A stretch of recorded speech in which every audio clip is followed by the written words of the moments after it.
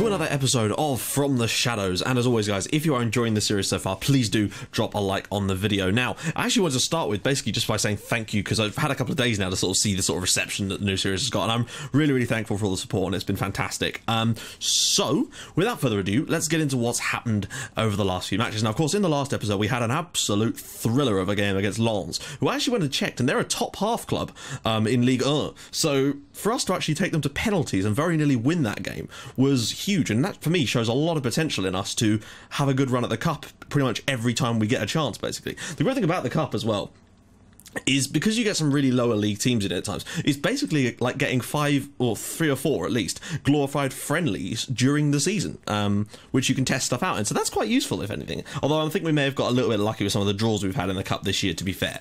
Um, so there is also that. Now, someone said that I should have arranged loads of friendlies against big clubs in the summer that is something I usually do do, but the problem is there's no point in me doing that in the first summer because I need those friendlies to actually build the tactic. If we're playing Bayern Munich every week, I'm never going to be able to build a tactic because we won't know what's actually going to work or not. That's why I didn't do it. Um, but as you can see, obviously we tried to arrange some friendlies like that over the uh, Christmas period, and I will try and do some of that in the summer again. And but I still need to sort of intersperse it with games against winnable teams so we can actually get our confidence and match fitness up, uh, basically. So that's what's going on with that. Um, another thing is, with regard to the player interactions, I've heard some stuff about how it's to do with the squad status of the players. It, it literally isn't. Uh, like, I've had over since the last episode, I've had probably about I don't know ten players come to me and say that they were complaining about how much football they're getting. Basically, not a single one of those players had a squad status lower, uh, sorry, higher than backup they were either back up or lower. So the point is, it doesn't matter what squad status you set, they're going to complain regardless because that's just what they do. In fact, I get more players that have got lower squad statuses complaining about not getting first team football than I do that the ones that are actually. Um, but obviously, but that's probably because the ones that have got higher squad statuses are going to be getting more football. But you see what I mean? So it doesn't matter what squad status you set, they just seem to complain uh, pretty much yeah, as and when they feel like it. So that's kind of annoying. But hey, you got to move on, and I feel we're doing okay in the meantime. Now, Away from home, we've still had a few issues uh, this season. We've had a, a, a, slightly better time of it, but it is away from home where I feel that our sort of form is a little bit low. I don't know what the away form chart's like. We'll have a look in a minute. But we started off the month away at Vendée-Luchon, and it was not a particularly special performance from us. I feel like we were maybe a little bit unlucky, but still, they scored their only shot of the game. Cedric Rouault put them in front on 13 minutes. And I was a little bit worried because these guys are second or third from bottom of the league. And obviously, as you can see, we also lost Jason Boislion uh, for three weeks with a twisted knee, I think, or it might have been injured later in the month. I can't actually remember. Point is, it was not good. It took a penalty from Luther on the stroke of half time. We love goals either in the 90th minute or in the 45th minute. I've noticed a lot of goals are being scored in those time periods. We never give up, and that's fantastic for us. I think we've scored two more late ones this year um, uh, in this episode.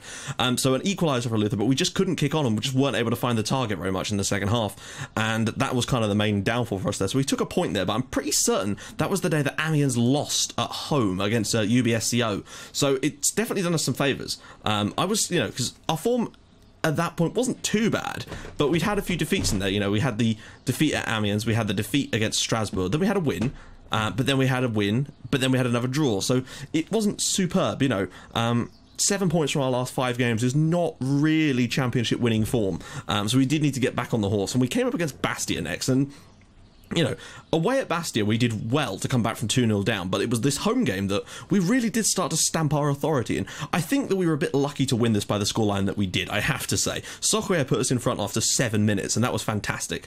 And then obviously Gamiette um, doubled that advantage not long after. But then, as you can see, uh, Jean Briand yeah, Jean-Briand Bukaka got on back for Bastia, and I did worry that they were going to come back in because the game was not particularly in our favour. As you can see, we had more possession, but not by much, and we actually had relatively simple, uh, relative, relatively comparable pass completion rates. So it wasn't like we were dominating them really, uh, maybe a little bit, but uh, we were still committing less fouls, so it was useful in that sense. But then, yet again, Idris Ekshogui on the stroke of half time made it 3 1. I don't know how he keeps managing to score goals in like first half stoppage time. It's fantastic. Often they're penalties, but this one wasn't. It was from open play, bursting forward and bang, 3 1. Lovely stuff. Then we managed to get ourselves a nice, lovely set piece goal from Hervé Lybohy. And by the way, guys, um, those of you who are new to my channel don't know this. These set piece instructions that I use are in a link in the description along with everything else, basically. Um, they're not my instructions. I've got them from strikerless.com, which is a fantastic website. I strongly urge you to check it out for things like throw ins and corner tactics, because that's where I get these from. And they've worked, they've served me well over the past four or five months, basically, since I found them. Um, so there you go. a 4-1 win over Bastia, probably one of our better wins. I mean, admittedly, uh, we had that 5-0, of course, in the live comp, but that was still a fantastic win for me because it showed our class against a really decent team. I can't remember where they were in the league. I think they slipped off a little bit, but still on the rebound. Now, next up, we went away to Dunkirk. And Dunkirk, of course, if you remember back in the early part of this season, I can't remember how much we beat them by. 2 0, we beat them at home. And they were doing okay at the time. But yeah, um, basically, coming into this match, and I had to make a note of this because I couldn't believe it. Coming into this match against us, Dunkirk had not won in 16 matches, um, and they'd only got two wins on the board all season. And I was worried that we were actually going to end up giving them a point to be honest. As you can see, we were fantastic in terms of the number of shots, number of chances, possession, everything perfect. But it took until the 91st minute when Loic Puyol, up from a corner, oh, well, actually, I say the ball swing, swung out to the edge of the area. It was played into the box with a long shot and it deflected around and Loic Puyol was able to stab it over the line and give us an absolutely vital away point, uh, not away point, away win, and another late goal rescues the day for us. Really, and I was, I've celebrated this one like we'd won the title. It was important for me because I'm pretty certain that was the day that Amiens were dropping more points. Next up, we had Red Star at home, and oh man, our home form has really picked up lately. That's something that has pleased me a lot. Um, took a little while for us to get going, but we were definitely the better team. Thomas Gamiette, now that he's back and firing, is doing a lovely job. Then just after halftime, Johan and Via, and by the way, if you guys wanted me to check see if he is related to. Uh, um, oh, I can't remember the other guy's name. Um, personnel, Yananvir. Uh, it doesn't actually say brother, but it does say favored personnel. So it would link me to lead me to believe that he probably is uh, his brother. But I, I, honestly couldn't tell you guys. I know it's called uh, Claude Loire as well. Um, but there you go. So I apologize. I've been meaning to do that for a few episodes, so I hope you're not too pissed. Um, yeah. Then we kind of just kicked on from there, really. Richard Socrier grabbing himself another goal. He's not been quite as prolific, but that's just because he's not been able to stay fit, um, which has been an issue for us. Uh, the other issue is Ojan Bayi has come back and gone out about three or four times since his injury. Like, he got injured in the first game I brought him back into. He also then came back again and then got injured in the immediate training session afterwards. He just cannot stay fit, and it's a shame. Um, like even when you don't play him because you want to try and ease him back in, he just gets injured in training instead. Um, and Idris Ekshurgui, who has been our man of this season, just he will surely win the fans player of the season this year if we go up or even if we don't. Although when you look at the league in a minute you're going to see that it's actually looking very likely um, that that will be the case. But we just can't afford to you know touch wood. It still could be a little bit iffy if we screw up a few things. But the fact, fact is some of the games this month particularly you know the home games were against good sides but not the top top sides. So I felt we were able to do well in those games. And the away t- the away games were against poor sides. So you know all three teams that we played away from home this month were in the relegation zone. So you know the draw at Vendée uh, Luchon was a little bit disappointing. Great win at Dunkirk, and then we followed that up with the, a win against the bottom club away from home. Again, not particularly emphatic this one. Um, obviously controlled the game as you can see, but we just didn't seem to be able to break them down very much, and it was a bit of a shame. Thankfully, Socrier got us that goal in the 28th minute because after that we just didn't really find the cutting edge. There wasn't a lot of highlights, uh, is what I would say. Basically, it was a shame, but we weren't too bothered. I was just happy to get away with a 1 0 win, basically. It was another point on the board. And as you can see now, the league has sort of changed a little bit. Now we're three points off the top because if you look at Amiens' form as of late, they've not been all that convincing. They lost to SAS Epinal, who are right down there in the league, and that is a surprising result. They also had another poor result, I believe. Uh, no, they beat Strasbourg, and then, yeah, they lost at home to SR Colmar, who we're playing today. And they also had a draw in there, too, I'm fairly certain. Uh, yeah. Oh, no, no, no, they didn't. Uh, point is, all of this has allowed us to sneak into top spot again on 53 points now and that's a great turnaround basically. Um, i was a little bit surprised. It isn't done on goal difference though this league. It does appear to be done on head to head. Uh, so there's that. We need to be careful though. and that means our game against amiens could be crucial um, since we well then again we did only lose 2-1 away from home so a 2-0 win against them at home would be perfect for us. Um, so there you go basically. We're playing against colmar. They're the sort of nearest rivals to that sort of promotion spot but us uh, BCO are right in there too. But as you can see, we are 10 points above Colmar now. And a win today could, well, a win today could put us 13 points clear of the promotion into the promotion spots with just, uh, well, with nine games to go. And I feel for me, that would be pretty damn good for us. And as you can see for top goal scorers as well, Luther's right in there with 13. He's also got the most assists, best average rating. We've got 14 clean sheets as well in 24 matches. I'm very, very happy with the way this tactic is going. Just the three defeats all season. Um, in the league, and that's pretty impressive. Let's just take a look where those defeats were. So I had that annoying one earlier in the year away from home. Then we had that weird one uh, against Strasbourg, which was just very strange. And of course, there was the one against Amiens. We've been pretty good. You know, I think it really should only be two defeats. That Strasbourg one was very, very strange. Anyway, let's take a look gander at the squad.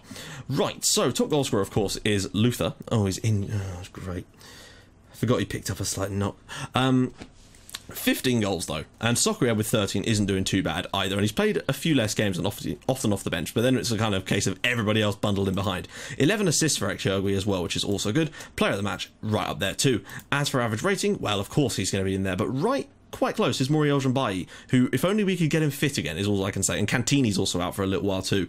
Um, key area challenges, obviously, is going to be. Uh, Lybohy, but Puyol's getting in there too because he's playing centre back a few times now because of the return of um, oh god, who is it? Uh, the return of Traore. Key passes, Actually, Ekshogui right up there now. I'd like to think he's probably up the top of the league. Um, key tackles, still only 13 key tackles, mate. That's incredible. Something else I wanted to quickly show you was some of the player stats and see if we have got them. Yeah, key passes there. Ekshogui with the most was 74, which is great. Um, team conceded. Koulibaly's only been in, in, the team for 10 goals, which is pretty impressive. Um, trying to see. Oh, that's what I wanted to show you. I wanted to show you the team stats for our away form. Um, like, okay. Oh, wait, not away form. Um, apologies for that. Is there a way of showing you this? I'm sorry, I'm blabbering a little. Overall, here we go. So uh, at home this season, we've won 11 out of 12 and lost one. 33 points on the board. Superb. Is the away record, I feel that we've slipped a little bit. Like, still not too bad, but as you can see, just the five wins on the road, five draws, and two defeats. You know, it's nowhere near as good as UBSCO, and it's still not bad record really, but just the five wins on the road, it does. Mm, I mean, then again, Dunkirk have yet to win an away game, so it could be a lot worse for us. Let's put it that way. Anyway, let's jump into the match now. Um, Amiens are playing Colomiers today, so you'd feel that they're probably going to win, and it is all down to really what we do. Although USBCO have got a pretty winnable game as well, so you feel that those two are both going to win. We're in a position where we can kind of afford a little bit of leeway, but I would like to win this league. Amiens have kind of dropped off the pace a little bit lately, and I want to try and see what we can do from that. Now, I'm very unsure about the system they're playing. It is a little bit Christmas tree of doomy, and I, have mm, I don't know. We've always looked a bit iffy against those types of systems, if I'm honest. Right, let's do some changes though. I want to make sure that our bench is still set up. Um, Koulibaly, we're going to get him off of Bonghongui. Um, who else could we get in here? Um, Halloween for Sanaya because he's got poor um, morale, and I'd rather have Ntangu come on if we need him.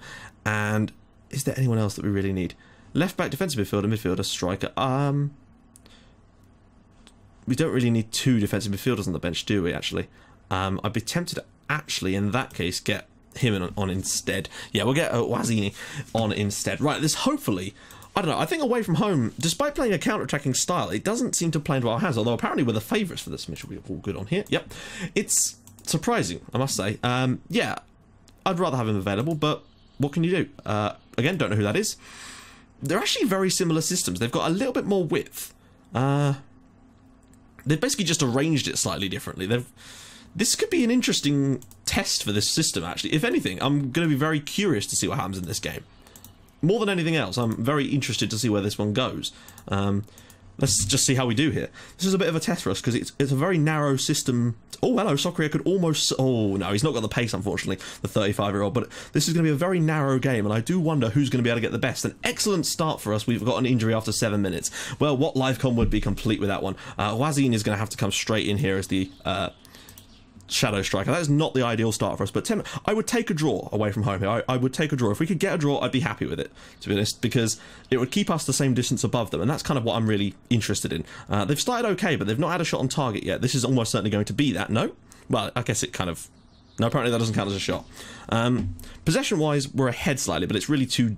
Not really that uh, important at this stage. Ikebane. I've got him being tutored by uh, Luther just because I feel that they play a very similar style of position and it seems like the right thing to do, since make the most of Luther while we've still got him at the club. Because Ikebane looks like one for the future. Out wide to Diakabe, ball across and oh, Wazine!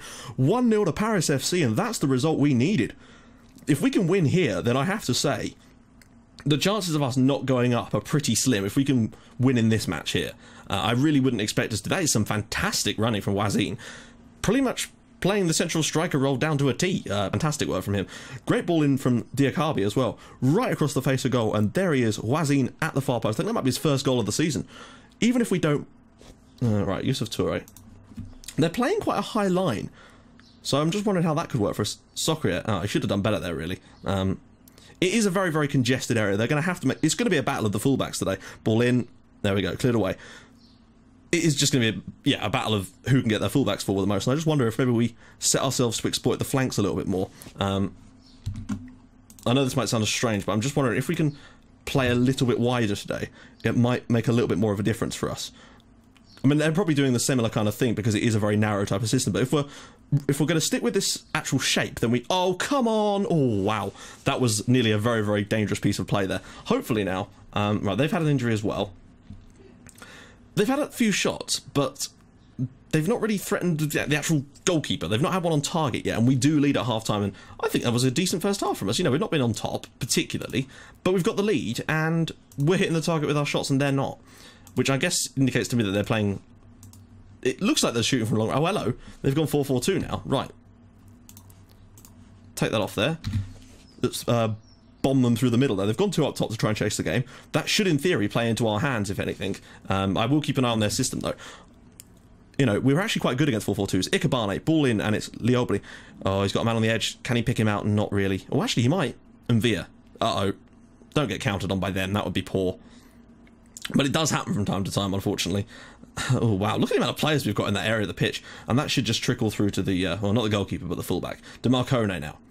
Just, there we go. Passes into Traore, out to Diakabi. I don't know whether our actual change has been made yet. There we go, dropping it down to the midfield. Now suddenly they've not got that extra player in the midfield and that could come, that could play right into us. I think. I actually think we might have a chance now.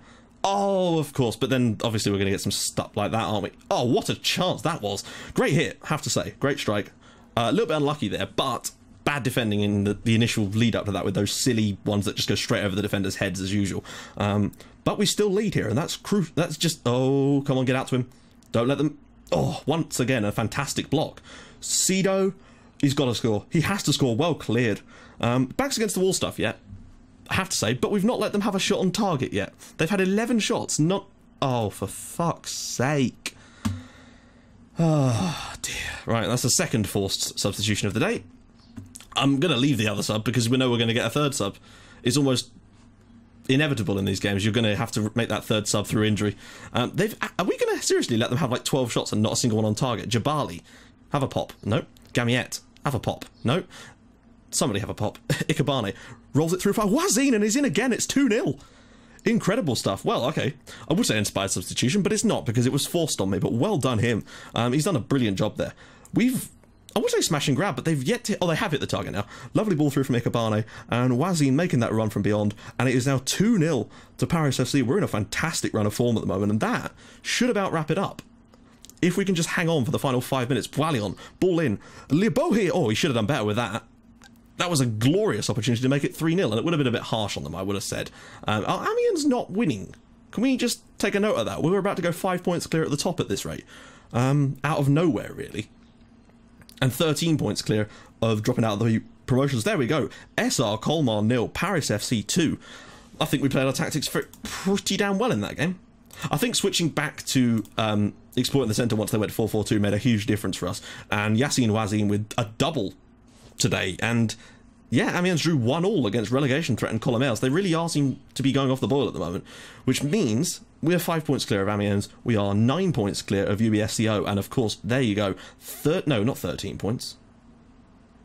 No, it's it's thirteen points, isn't it?